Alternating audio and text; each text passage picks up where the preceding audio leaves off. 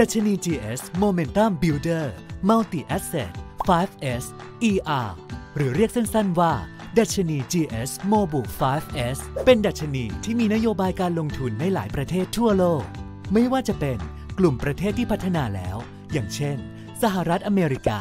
ยุโรป ญี่ปุ่น และกลุ่มประเทศกำลังพัฒนา เช่น จีน อินเดีย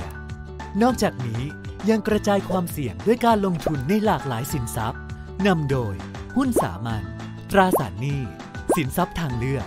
และสินค้าโภคภัณฑ์อย่างทองคำและน้ำมัน กลยุทธ์ของดัชนีมุ่งหวัง จะสร้างผลตอบแทนให้สูงที่สุด ภายใต้ความเสี่ยงที่กำหนด จากแนวคิดการลงทุนที่ว่า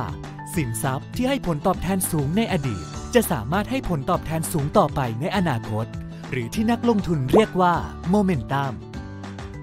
แต่ไม่มีสินทรัพย์ไหนที่ราคาจะขึ้นได้ตลอด หากราคาปรับเปลี่ยนทิศทาง จากเหตุไม่คาดคิด ผู้ลงทุนอาจขาดทุนได้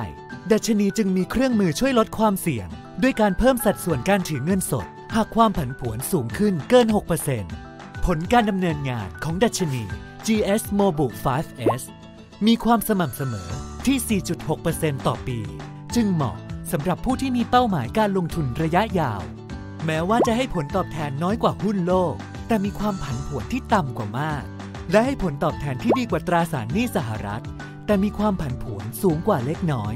ด้วยเหตุนี้ ดัชนี GS Mobile 5S จึงเป็นทางเลือกหนึ่งที่ตอบโจทย์สำหรับนักลงทุน เพื่อสร้างโอกาสในการรับผลตอบแทนที่สูงขึ้น